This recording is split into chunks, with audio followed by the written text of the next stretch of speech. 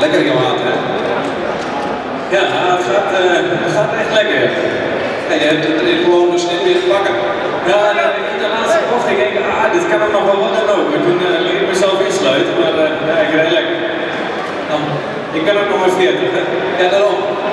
We gaan beginnen, dames en heren, bij nummer 3 van vanavond. En een fantastisch applaus voor Jan Maarten Heideman.